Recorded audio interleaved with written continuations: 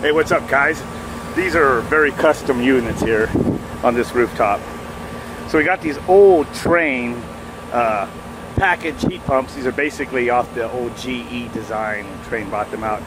I really like how they leave the shafts long when they change the motors. It's really nice. That way when you uh, need to check the bearings, you can just do it from right here. You can just feel the bearings, side play. These old units, they'll kind of throw people off because basically the re return and supply is backwards from uh, the newer Tranes and everything else. So this is usually the return coming in, but on these units, it's the supply.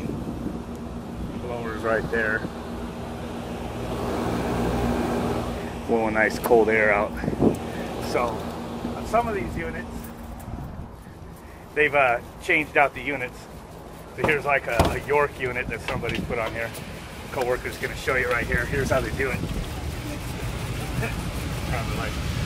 They uh, hollow out, I guess, the elbow, or, and then they just use flex duct for the supply. So we got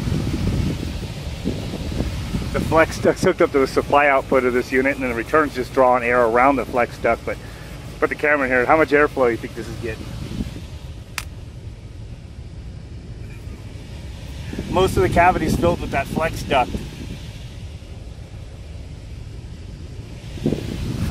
So that's probably why the unit I'm checking out over here was iced up.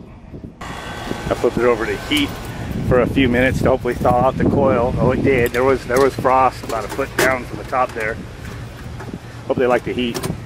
Oh, still got a little bit frost right there. Um, same thing. Supply duct, you know, connected. Uh, how much air do you think that's drawn around that flex duct to make it for the return? You know, return being low, less velocity through ductwork, you usually need a larger size, you know. Everybody knows that, but pretty much the plenum area is mostly filled with that, a large uh, supply flex, so there ain't much room for the return. Yeah, same thing with this unit. They put this Trane on here. Yeah, that probably explains it. 44 degree supply. Nice.